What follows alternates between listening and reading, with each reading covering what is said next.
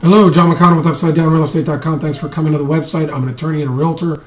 We believe, uh, well, we understand that people want to be educated before they make decisions, and a lot of people want to be educated even before they contact a real estate broker or an attorney. I am a real estate broker. I am an attorney. Uh, when I got out of law school from University of San Diego Law School in 91, it was an upside down market. We had to learn about how to deal with banks then, what our anti deficiency laws and those protections were then. Uh, it started happening again in 2005. I was losing some money in California, in Florida real estate. I had people that needed to do short sales there. So we were doing short sales in Florida before, well, the market here was still stable and people were still calling themselves luxury home specialists. Um, we'd like to get that information working for you. Whether you work with us or not, we want you to have a very successful loan workout. The banks got what they wanted from Congress. We want you to get what you need from the banks. Um, so where to start? I like to figure out. I like to start with what your downside is. What happens if you do nothing? So you want to go ahead and maybe read the case law in the case law section. That's the seminal case law in anti-deficiency protections in California. Become aware of CCP 580E. Then figure out whether your senior loan is a recourse or non-recourse loan. Whether if you have junior loans, whether those are recourse or non-recourse loans.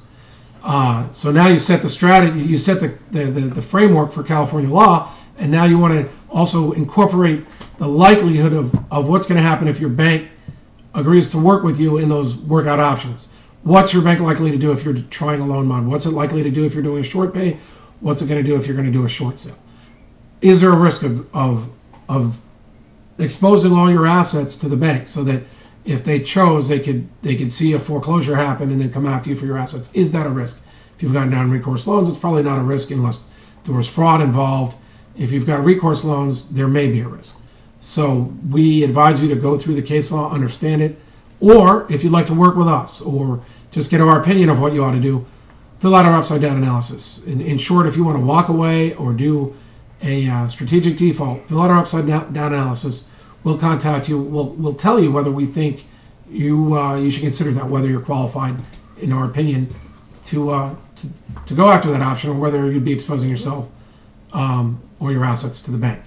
If you are not thrilled about walking away, if you'd like to consider your other options first, we can discuss those.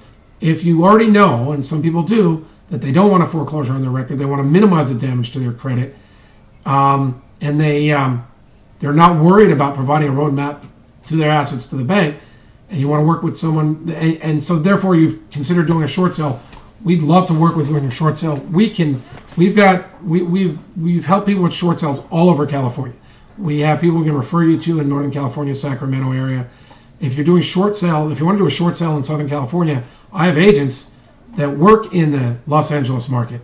That we've done a lot of short sales in Orange County, I've got an, I got an agent who's done 100 short sales who lives in Temecula, um, where you can work with me uh, on, on, even being your listing agent sometimes, even though I own a real estate brokerage. So talk to us. We will give you a low key analysis of your situation. We we like to do in two parts. First, we sort of do a quick scenario of your loans with you. Then, if you are a good candidate for a short sale, we go over um, your asset picture and and help you frame your short sale in a way that might get approved. Many of our clients are not ready to do a short sale and they have to come back four, five, or six months. Many of them want to buy time anyway. So we help you do that. And we do it low key. And, um, you know, it's been working for us. We've closed over, we've closed about 100 short sales with our brokerage. We've closed over 100 if you include all the real estate short sales we've done with other realtors and other brokers. So thank you, John McConnell, UpsideDownRealEstate.com. Um, again, fill out the forms. We'll be happy to talk with you. Thanks. Bye.